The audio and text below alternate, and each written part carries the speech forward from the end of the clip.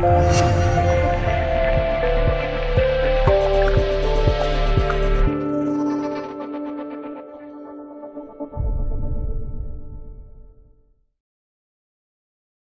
京时间二月二十三晚，中国足协超级杯在江苏苏州打响。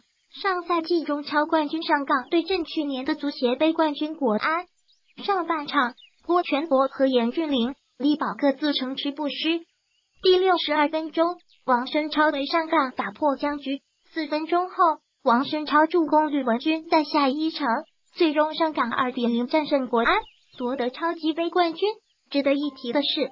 这是上港第一次参加超级杯的比赛，也是他们队史第一座超级杯冠军。他们也成为了这项赛事一九九五年创办以来第九支夺冠的球队。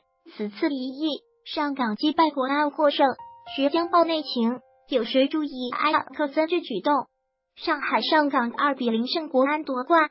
下半场第七十一分钟，规划球员侯永永替补换下持中国登场。这也是中国首位登场比赛的规划球员。而对于规划球员，人们一直热议的有埃尔克森、埃神称。如果说要谈到规划的话，可能我也在考虑一个正式的邀请。如果各方面条件都好、都成熟的话，为什么不呢？但是在上港超级杯夺冠上台领奖的时候，埃尔克森疑似身披巴西国旗参加了颁奖流程，这一举动让规划他打上了问号。学江畅关于规划球员，像埃尔克森具备条件，他放弃巴西籍，加入中国籍，为国足出场，出场费怎么算？作为外援踢联赛，俱乐部要给他报酬。他作为国足球员，难道免费踢？免费为国足踢球，他没必要加入中国籍吧？为国足踢一场给多少钱？和是？